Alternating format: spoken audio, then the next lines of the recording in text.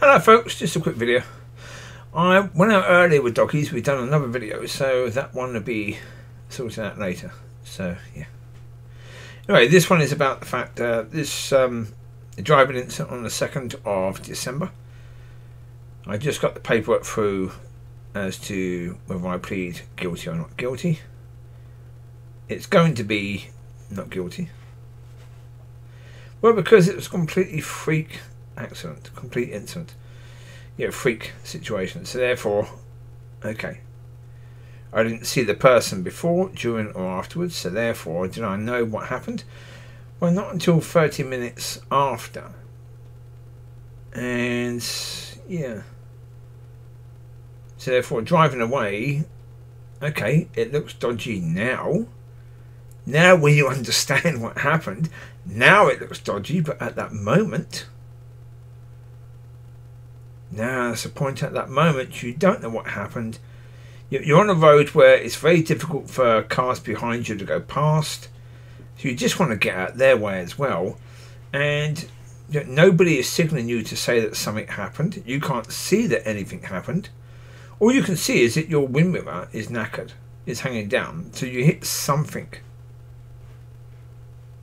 But yeah, because there was water in your eyes at the time, you couldn't see anyone there. You know you went up onto the curb, but you know there could be a sign there. There's lampposts there, so therefore, what did you hit? Well, you don't know. But as there's nobody running around panicking because someone was hit, you don't think someone was hit. And you certainly didn't hit a car. So if you didn't hit a car, and no one's running around panicking, then you think you didn't hit someone. So therefore, what are you going to do? You get out of the way the other cars. Because if you're not a lawyer, then the law is not in your mind at that time. What's in your mind is, oh bloody hell, I've got to replace the mirror now, and that's going to be a problem. Uh, especially with the person I use, because he takes absolutely months to do anything. Well, he keeps on booking other jobs. You know, he says, "Oh, come around next week." You come around next week. Oh, oh, sorry, come around next week. You come around next week. Oh, so sorry, come around next week. And then, yeah, he was supposed to be repainting the rear of my car that I booked him into paint. And we are a year on from that. A year on from that. Yeah. From well, from when he said he would repaint it and for me to first come in. Yeah. So you know when you've got that person doing your car? Oh, for, yeah. And yeah not good. And also money wise, yeah, when you're looking at bankruptcy, yeah, then obviously you've got no money spare to spend. And you've got to replace the mirror. Uh, crap. And the person was supposed to do with that, he said he's going to swap the front doors because he has another car, an 07 Civic that he could use. And then basically, he bought that car from someone else, but it cost more money than he thought. I told him it's going to cost more money. Um, spares and repair issue that car because that car was absolutely knackered. It couldn't be dro- driven because it had a big issue, massive issue that would cost more than the, the car was worth. So yeah. And then basically, I was going. I phoned him saying, okay, "What's going to happen?" And I went there to see him, and he said, "Oh, sorry, we can't swap the doors now because I've sold the car to someone else. They only want the engine, but I sold all the car to that person." And I was thinking, excuse me, if you waited for a few days, you could have had more money from me for doing that, and the same money from the other person.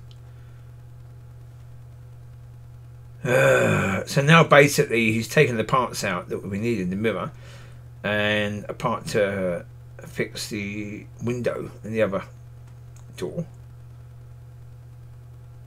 Yeah, and that could take more time because obviously he doesn't even know what's wrong with it with the mirror because he's not actually looked at it yet.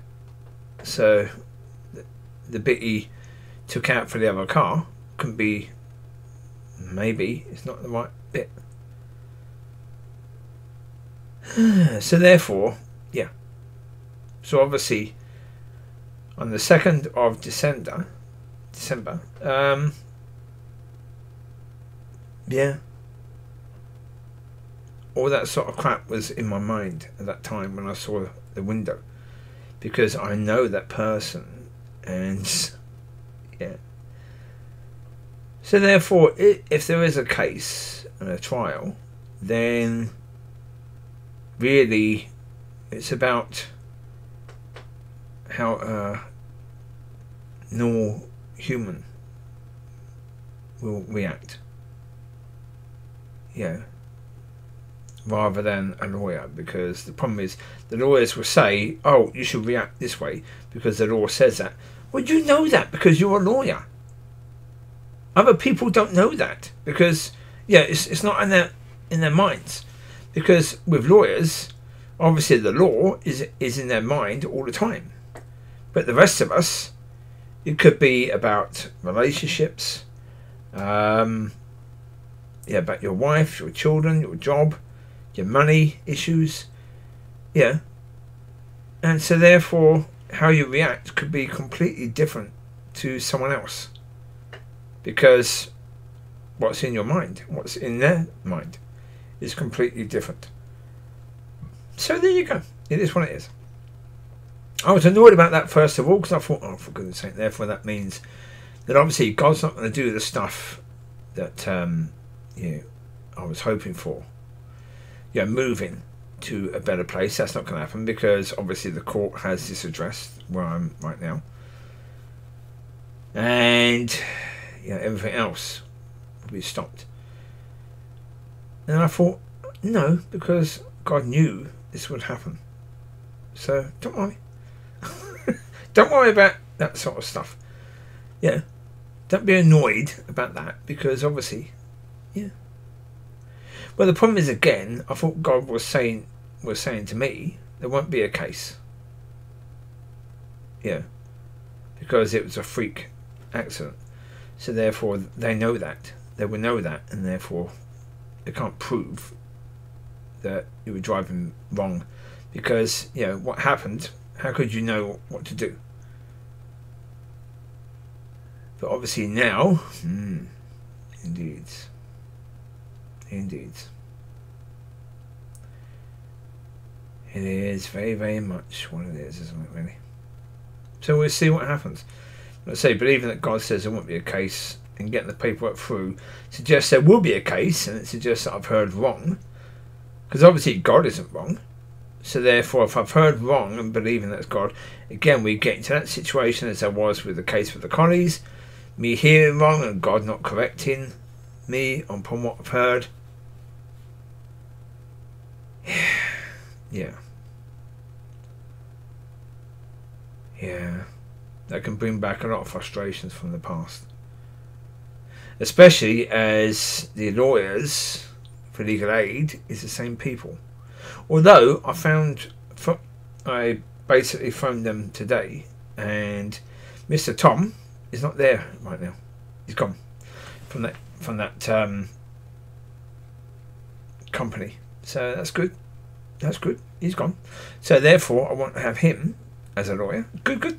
so, yeah, I will speak to the lawyer that they want me to speak to. And if that person says no, say guilty, I'll just say, okay, don't worry, me. bye bye. I won't use that person because, yeah, I want someone who knows, yeah, I wasn't guilty because, yeah, what happened was a freak thing. So, yeah. So there you go. I'll leave you now. You take care. I'll speak to you later. Bye bye.